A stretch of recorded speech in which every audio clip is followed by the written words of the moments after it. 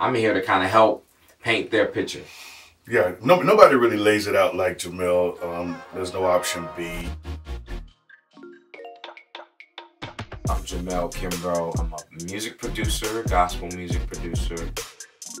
Sometimes we do things and we don't really know if that's right, you know, but if I could share something with you about my process, maybe you can say, oh, okay, I, will do that.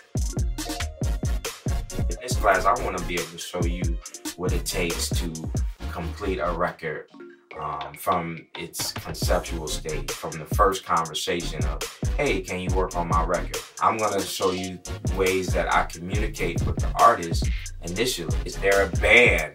Do I need to outsource my band? All the way down to finally getting to the stage where we're tracking lead vocals. I'm just gonna play the aux stems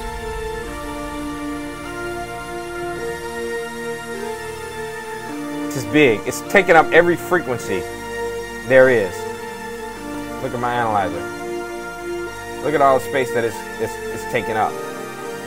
Because if it was only one instrument, it wouldn't grab all of these frequencies. If it was just one choice of uh, aux instruments, it would not get the, all this frequency range.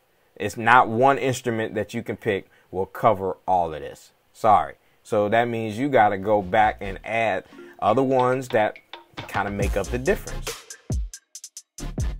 You know, the key to all of this is application. You have to apply this. So you just getting it in your heart is one thing. Getting it in your head is another thing. What didn't work, what may work, try it. I don't know. It may work for you. But it's all worth a try.